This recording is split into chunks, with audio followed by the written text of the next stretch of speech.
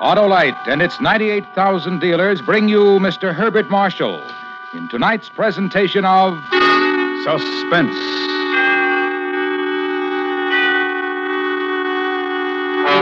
Tonight, Autolite presents the story of a man who, having no fear, attempted his own death. A new dramatization of C.E. Montague's Action. Our star, Mr. Herbert Marshall.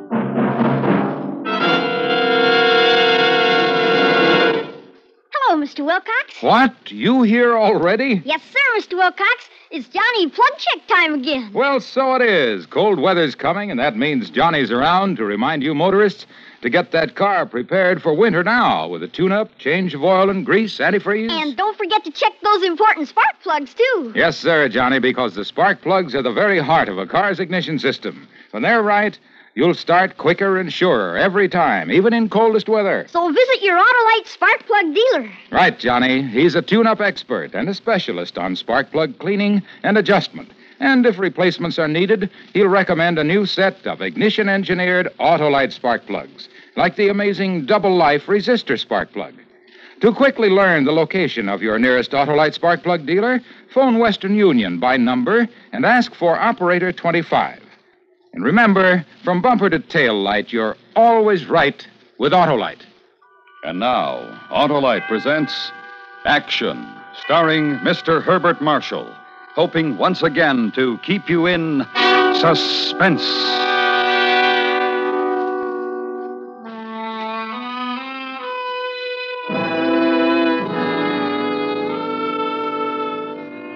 It happened very simply one Monday morning. I woke up and there was a slight numbness all down my right side. The arm, fingers, a good deal along the leg, rather less in my foot, and just a little in the head. I lay still for a moment to let it pass off, but it didn't. And I suddenly knew that it wasn't going to. I'd heard about such things, other chaps at the club, the office. Now it had happened to me. I remember getting up. I could still stand, walk, dress, and shave. But the numbness went on. That morning, instead of walking, I took the tram to the office. It was a pleasant autumn day. And there were a lot of young people aboard, healthy young people. The conductor moved down the passageway, collecting fares. Yes, please. Here, your fares, please. Your fares, please, sir. Wellington Avenue, please. That's uh, threepenny, sir. Right you are. Oh, now, we don't take buttons, sir. I'm sorry, I, I thought That's I... quite all right, sir. Does rather look like silver. And let's see. Ah, here's a threepenny bit, sir. Thank you. Here, your fares, please. Your please. His tact and sympathy were perfect. And I had a new care now. Sight, too, was that going? Sight, touch, the whole sensory business, losing precision, entering on the long slope to decay. I don't think I got much work done that morning. Going away, what I did was good for me, kept my mind off things. I had a quarter to one appointment with an old friend, Adrian Tillett, whom I hadn't seen for a month or two. We'd arranged to meet at my club. I was a little early and sat in my usual place to wait for him. I say, Bill, Yes? did you hear about Chitterhouse? They brought his body back to England yesterday. Yes, I know, yes. You've done some mountaineering yourself, haven't you? A bit. Blast if I know what you fellows see in it. Bloody awful way to die, if you ask me, falling off a mountain. I suppose there are worse ways. Uh, try to tell that to his wife. Well, I, I'm feeling a bit peckish. Will you join me for lunch? Thanks very much. I'm waiting for someone. All right, cheerio. Hello, Bill. I'm sorry to keep you waiting. No, you haven't. I've just got here myself. Hold, hold, hold on. Steady. I say, you look seedy. Feeling all right? Yes, splendid. Come along, we'll have a bite to eat. Good. I'm famished.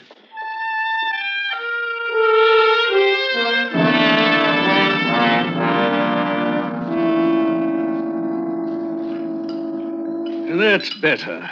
Cigar? Uh, thanks. Wha- What about you? I, I don't think so. Uh, look here, Well, is anything wrong? I mean, well, you You look like a dying duck in a thunderstorm. Something I can do? I'm afraid not. Serious? I suppose it is, in a way. If you uh, want to talk about it. I'm, I might as well. I woke up this morning and I felt numb. The right side. I must have had some sort of a stroke during the night. Have you been to the doctor? No, I don't think I shall. You know as well as I do what he'd say. My dear old boy, you can't let a thing like that uh, just go. I don't intend to be an invalid for the rest of my life, Tillett. I've seen this happen to people, so have you. End up in a bath chair, being fed by some harridan nurse who won't even let you wipe her own nose. No thanks. What are you going to do? I don't know yet. The big thing seems to be how long? How long does a thing like this take? Men like you, you live to be a hundred. You're an active chap. There's no reason on earth why you. Oh, that's just it. Why don't follow? I don't want to live to any age like this. Why, say, uh, why not come up to my place on Friday? Spend the weekend. Change of air will do you good. No, I really don't think I. Uh, don't be an idiot. Marjorie's dying to see you. She she always complains that you've given us up. Now I'm going to expect you. The, the stream's awfully good this year. We'll do some fishing, right? Right. Thanks. Thanks, Tillett.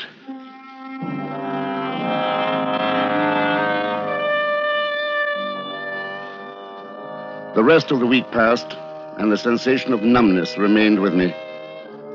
Sometimes a bit more or less. At nights, I thought. I thought a great deal. On Friday, I drove down to Weybridge. It was obvious that Tillett had told his wife about me. It didn't matter much, except I found myself annoyed at her solicitude. I suppose she couldn't help it. But it was one of the things that definitely made up my mind. I knew what I was going to do. And I told my old friend. We were on the bank of the stream. He'd just landed a nice trout. And we sat down for a smoke. I've made up my mind what to do, Tillett. Oh, Yes. I wondered. Had an idea you were up to something. You've been uh, rather quiet, you know. I'm sorry. Is it any better? No, no, not the same. I had a dream just before I came down here. I was climbing. It was on a crag that became steeper and steeper as I went up. First it was vertical, and then it overhung more and more until I was actually climbing a reverse slope. Must have been awkward. Oh, it's been done, you know. Has it? Yes, I've read about it, but I've never done it myself. Hmm. What happened in your dream? I fell. Woke up. I thought a lot about it. It's that margin of safety, you know. One does a lot of climbing, and if you're any good at all, you don't slip in the really difficult places. But supposing you you pare away at the margin of safety, an experiment. What could you do before all the margin was gone? If you didn't care, I don't know. I haven't tried climbing. if one cut out the old fear of death, one could do some amazing things. Is that what you're going to do? I think so. Yes. Look for one of those crags? Yes, I've, I've never done that. I know of one I'd like to try Zinal, the Schalijoch. It's a ridge of the Weisshorn. Sounds impressive. Oh, there are higher mountains, but not many more interesting. If you want to be a human fly, why not try the chalk pit down the road? Straight up and down. Not so far to fall. that wouldn't do. no. It wouldn't, would it? I'm not going to say anything, Bell. There's nothing one can say, really. I wish you wouldn't do it, and I understand why you think you must. When will you leave? Next week. The snows will be coming at the end of the month. Not much sense in making it too dangerous, is there? No, not much sense in that.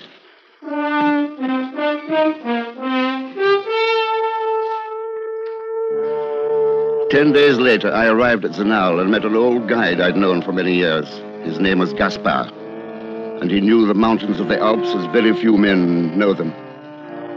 He and his wife ran the hotel, and after dinner, it was my first night there, we talked over a cognac. Ah, it is good to see you again, my friend. I repeat, what a surprise, and so late in the year. I remember July was my month, wasn't it? Ah, those days. We did some fine climbing, you and I. Fine. And where shall we go this time? My time is my own, and now yours. The amateurs have gone. We shall climb for sport, huh? Perhaps so. I, uh, I want to try the west side of the Schalijoch. Good, good. Hope you won't be upset, Gaspar. First time I go up, I mean to do it alone. Alone? Yes, Did you say the west side? that's right. May I speak of something I've noticed? Of course. When I saw you today, I, I, I noticed something, a, a slight limp. You have been in an accident? No, just a little stiffness. You have done some climbing since we last were together? Not much.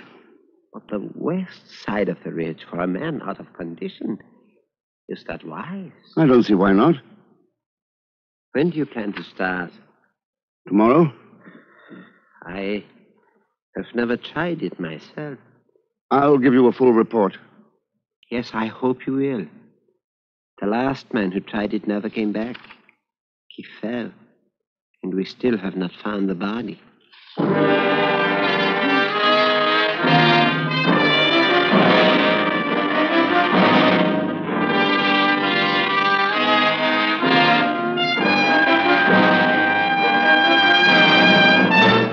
Autolite is bringing you Mr. Herbert Marshall in Action. Tonight's presentation in radio's outstanding theater of thrills, Suspense.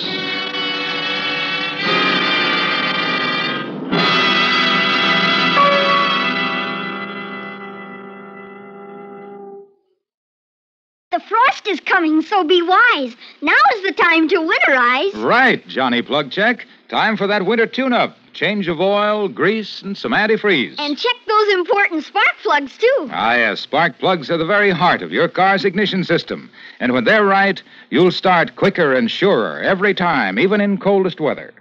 If replacements are needed, your Autolite spark plug dealer will recommend a brand new set of ignition engineered Autolite spark plugs. Like the double life resistor spark plug, the greatest spark plug advance for automotive use in the past 25 years. It gives smoother engine performance and quick starts for twice as long as spark plugs without a built in resistor. And the resistor spark plug is only one of a complete line of Autolite spark plugs, ignition engineered for every use. So when you're getting your car winterized, make sure To check the spark plugs, too. see your nearest Autolite spark plug dealer this week. And remember, from bumper to tail light, you're always right with Autolite. And now, Autolite brings back to our Hollywood soundstage Mr. Herbert Marshall in Elliot Lewis's production of Action, a tale well calculated to keep you in suspense.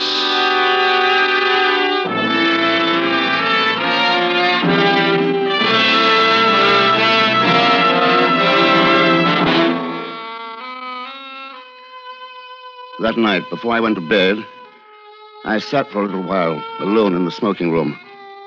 I had nothing to do, no goodbyes, no last letter to write, no will to be made. That was done and accounted for. I felt my right arm and leg with the fingers of my left hand, still numb. That strange, unfeeling feeling.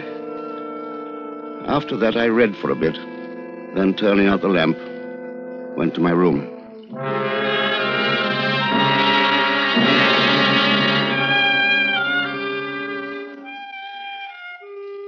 The next morning was dazzling, the soft green valley meadowland sparkling, and above, against the bluest of skies, the mountains. The autumn sun was warm, and as I decided to travel as lightly as possible, I was glad for that. Leaving the hotel, I made my way past the cow barn, the tiny post office, and on toward the path which led gently upward. I must have been walking for about five minutes when he caught up with me. Herbert. Oh, I, I nearly missed you. you. You were gone before I knew Oh, good morning, Gaspar. Uh, a beautiful morning for your climb. I, I thought if you did not mind that I would walk with you to the bridge. Well, I don't mind in the least. My wife was worried I'm sorry to hear that. about you. My wife is a woman who has premonitions. You know women. Yes, she needn't have worried, you know. As I told her. You are one of the best. Still, she could not understand why you would suddenly appear and decide to climb the most difficult place on the mountain. Surely she knows mountaineers. Yes, she knows them.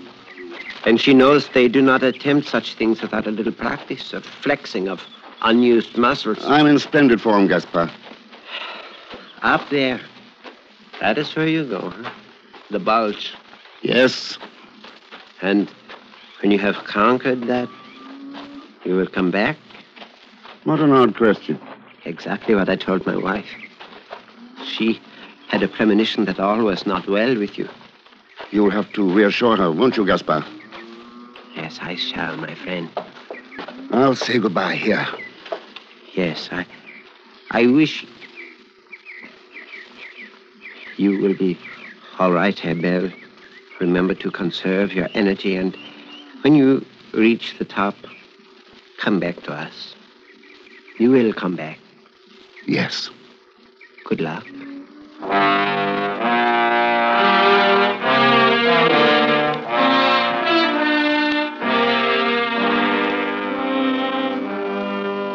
I left the old guide at the wooden bridge and walked on. The place I'd picked to climb was on the west side of the Schalijoch. It's a dip in the ridge that joins the Weisshorn to the Schalihorn. The lowest point of the dip is over 12,000 feet. The last part of the rise to the ridge is a wall of ice that undulates like a sheet of hammered copper, concave at one point, convex at another, and at two or three parts it overhangs. How much I did not know, but you could see it. And it was the underside of that overhang I was going to climb. I would try to do it honestly, get to the ridge and prove that in this small matter, where there is no fear of death, a man can do more than he knows. My timetable began quite on schedule. Three hours' work up to the Arpitetta Alp from Zinal.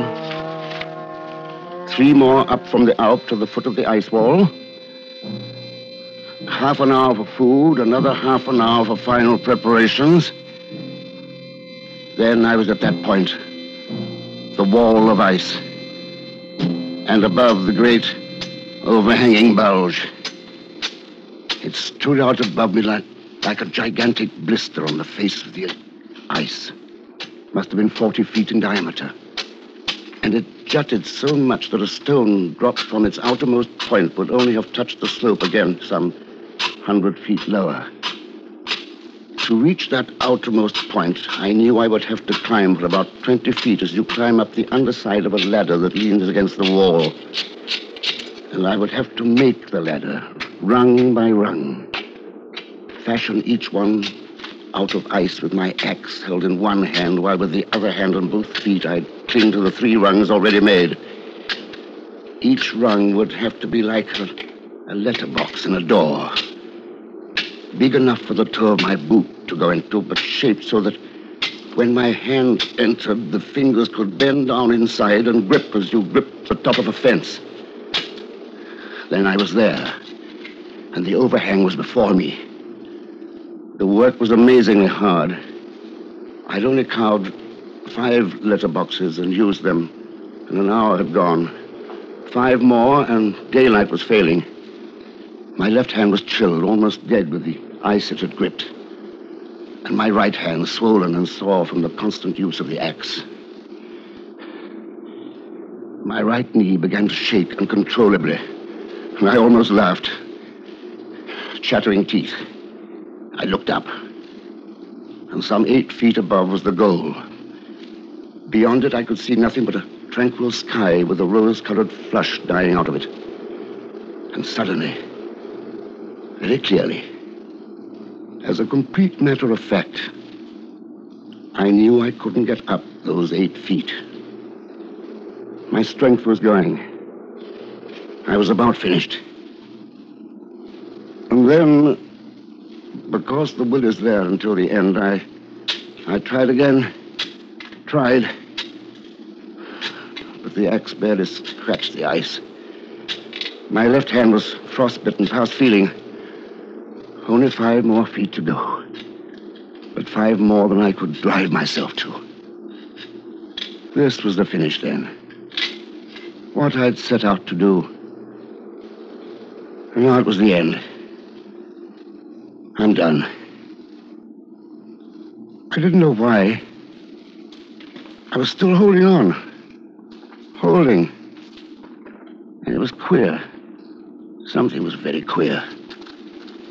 I felt little chips of ice stinging my cheeks as they slid down from above. Was an ice avalanche coming? What did it matter? Let the ice do what it wanted. My business with it was done. Then. Then there was a sound.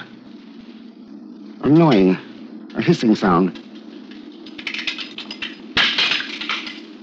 I saw the ice axe slide over the bulge overhead and move out over my head to drop far below.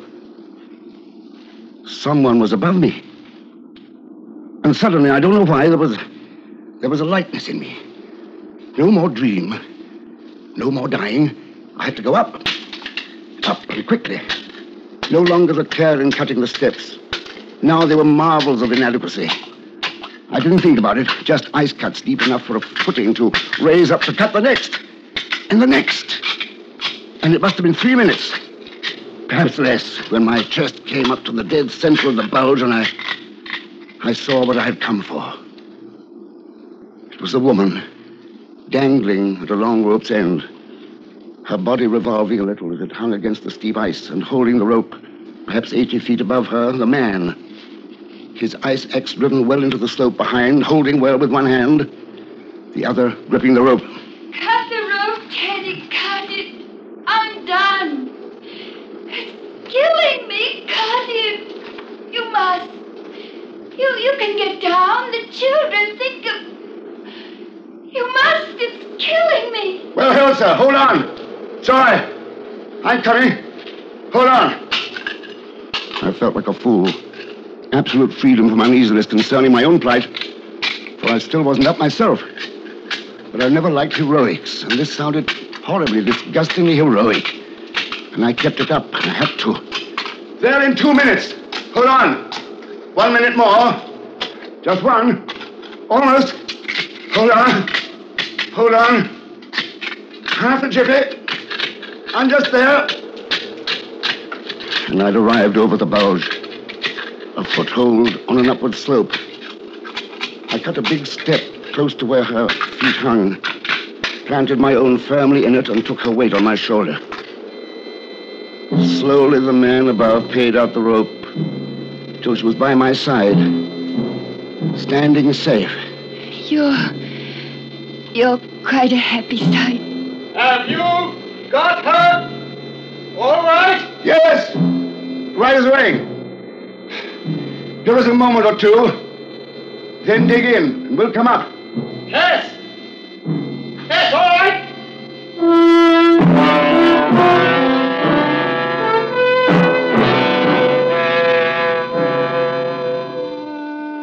Last daylight was gone when the three of us stood on the level roof of the ridge.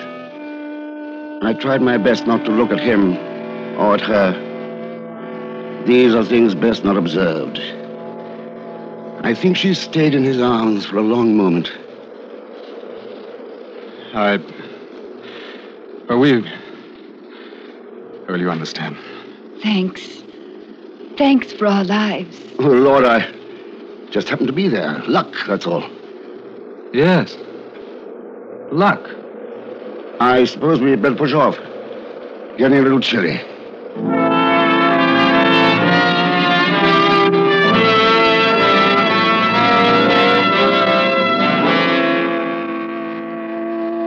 It was luck. There was a full moon, and the downward trail was something else from the way I'd come up. We none of us spoke. I don't think a single word all the way back. And then the village, the hotel, and she was put to bed, alive, tired. It was only after that in the smoking room that I learned their names. His name was Gollan, Theodore Gollan. The woman upstairs, his wife Hilary. And because he seemed to feel himself under some sort of obligation to me, I told him about myself, my climb, why. And when I finished, he said, Look here, I'm a doctor, and I know about such things. Tell me, when you were making that last climb over the Bauge, did that numbness cramp you? Or did you notice it? No. It had been there, but not the last ten minutes. When you were in action. Action? Yes, I mean doing something, something you're absorbed in, lost in. Yes. I see. Uh, that's the way it should be, you know. What you've got, the numbness, that will stay with you, but uh, does it matter quite as much as you thought? No. I don't think so. You won't try that sort of thing again. No. Then it's going to be all right. Yes. It's going to be all right.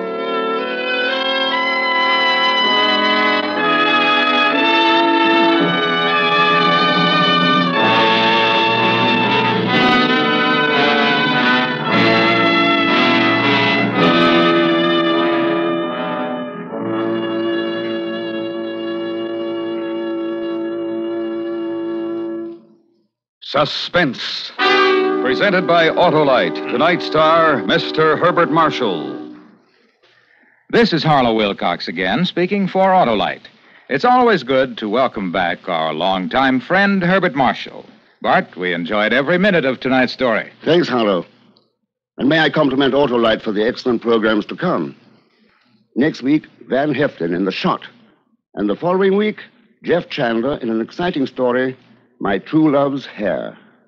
We can certainly depend on Autolite for wonderful entertainment. And friends, the greatest names in industry depend on Autolite for over 400 products for cars, trucks, tractors, planes, and boats. In 28 plants from coast to coast, Autolite makes such products as the famous Autolite Stay Full batteries, ignition engineered Autolite spark plugs, both standard and resistor types, Autolite starting motors, generators, coils, distributors, voltage regulators, wire and battery cable, and Autolite original service parts for all Autolite electrical systems. So, from bumper to tail light, you're always right with Autolite.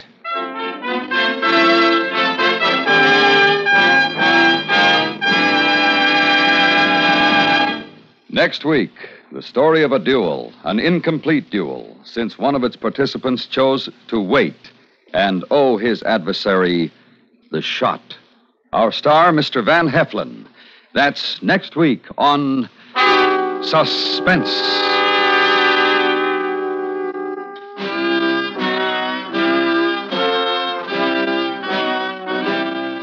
C.E. Montague's Action was adapted for suspense by Anthony Ellis.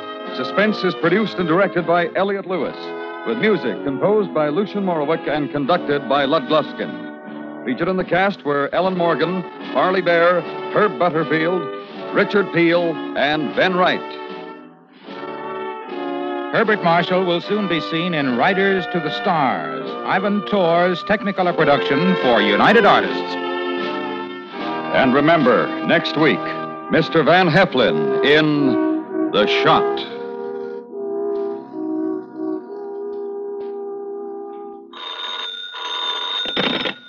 Buy Autolite resistor or standard type spark plugs, Autolite electrical parts, and Autolite stay full batteries at your neighborhood Autolite dealers. Switch to Autolite. Good night. This week and every week is a good time to hire the handicapped. Surveys have proved that properly placed handicapped workers are steady and reliable. Consult your state employment service and hire the handicapped. This is the CBS Radio Network.